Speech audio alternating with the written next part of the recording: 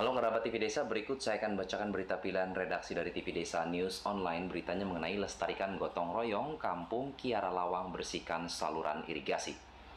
Untuk melestarikan budaya gotong royong, warga RW 2 Kampung Kiara Lawang, Desa Majasari, Cibiuk melakukan kerjasama bergotong royong untuk membersihkan saluran irigasi.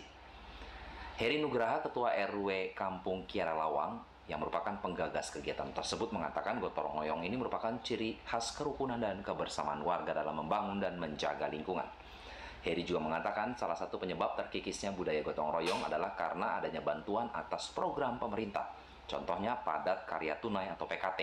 Akibatnya warga kemudian berasumsi ketika ada kegiatan gotong royong pasti ada bayarannya dan mereka yang bekerja akan mendapatkan upah. Lebih lanjut, Heri mengatakan bahwasannya untuk menumbuhkan kembali budaya gotong royong, dirinya bersama para ketua RT dalam wilayahnya kemudian memberikan pemahaman. Sebagai warga yang rukun harus tetap bersatu padu dalam membangun dan menjaga lingkungan tanpa mengharapkan upah ataupun bantuan dari pemerintah. Agus, salah seorang warga, sangat menyambut baik ajakan ketua RW untuk membersihkan irigasi yang, yang melintasi perkampungan. Bersama dengan sesama warga lainnya dalam satu RW, masyarakat kampung Kiara Lawang bahu-membahu secara sukarela mengangkat lumpur dari dalam saluran irigasi. Kegiatan bergotong royong tersebut murni merupakan hasil swadaya masyarakat. Lokasi gotong royongnya adalah saluran irigasi yang memiliki panjang 500 meter. Sebanyak 75 orang warga mengikuti kegiatan yang syarat dengan nilai-nilai budaya nenek moyang bangsa.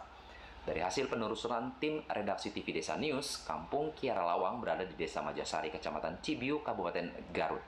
Desa Majasari sudah berdiri semenjak tahun 1886 dengan kepala desa pertama adalah Sumadi Praja. Baiklah kerabat TV Desa, berita pilihan redaksi tadi ditulis oleh Dian Purnama Putra yang merupakan mobile jurnalis TV Desa. Sampai jumpa pada berita pilihan berikutnya.